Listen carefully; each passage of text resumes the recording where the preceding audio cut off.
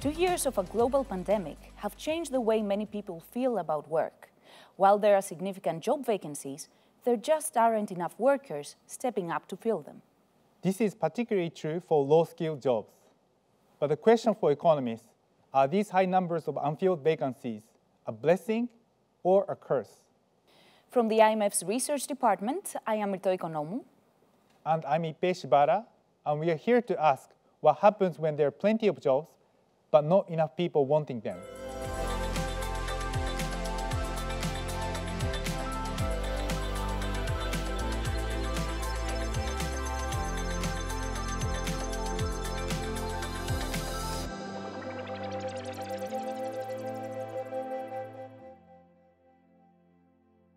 One of the puzzles of the pandemic has been why workers are scarce despite the plentiful job openings, something that has been particularly true for low-skilled and elderly workers not returning to employment.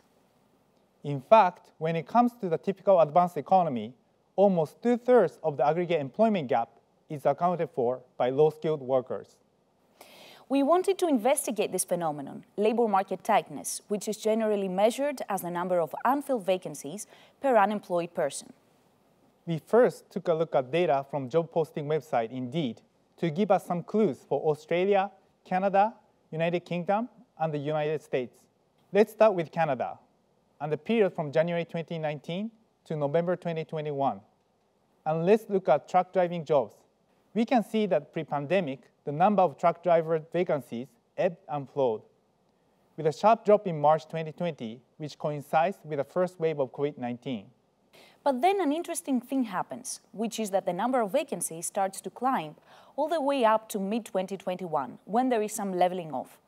The shape of this line implies a sharp and strong recovery of the demand for truck drivers. If we look at another group, construction workers, still in Canada, it is a very similar picture. Here's the story pre-pandemic, and here's what happened after March 2020, although there are some indications that the gap is closing now. And for warehouse workers, there's definitely a pattern here. And it's not just these three types of jobs.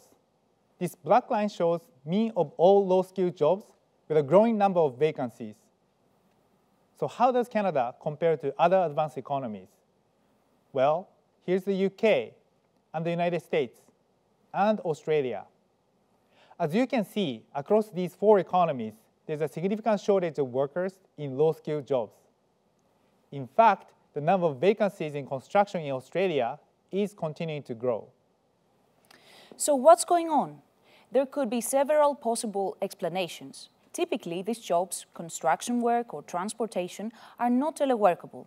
Indeed, it's difficult to drive a truck or build a wall on Zoom nor do the jobs offer much in the way of flexibility on work schedules, something we have seen for other jobs in some service sectors. And let's not forget that many of these jobs involve physical proximity. So there could be ongoing health concerns about re-entering the workplace for some of the workers in these low-skilled jobs, like warehouse workers, for example. Whatever the reasons, the effect should give policymakers pause for thought. On the positive side, if you're a low-skilled or low-paid worker, and you're employed, you'll probably be paid more now than you were two years ago, as employers have been raising wages to retain and attract staff. This chart tells that story. The blue bars show wage growth prior to the pandemic across several advanced economies. These are nominal statistics, by the way, in other words, not adjusted for inflation. Now, if we show the latest nominal figures in the United States or Portugal, or the UK, for example, there's clear growth there. If we adjust these figures to take into account inflation, in a lot of countries, those gains start to disappear. That points to purchasing power losses for workers, and also to a potential risk, wage price spirals. In other words, a situation where higher consumer prices lead workers to demand higher wages as compensation which in turn make for higher labor costs that are then passed on to consumers in the form of higher prices, which lead to further wage and price increases. How big is this problem in broad economic terms? So far, unfilled job vacancies and wages have risen most for low-paid jobs, which represent a small share of total labor costs, which means that the resulting pressures onto aggregate wage inflation have so far been manageable.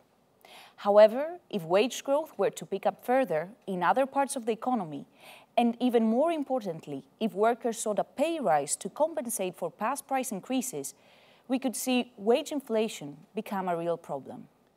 So, how can we ease labor market pressures while making sure this economic expansion benefits everyone? There are some clear options for policymakers. Firstly, controlling the pandemic remains paramount. It will help bring back those who left the labor market. Well-designed training programs for low-skilled workers could also incentivize their re-entry to the workforce, as well as encouraging flexible working practices through changing labor laws and regulations to accommodate workers' changing job preferences.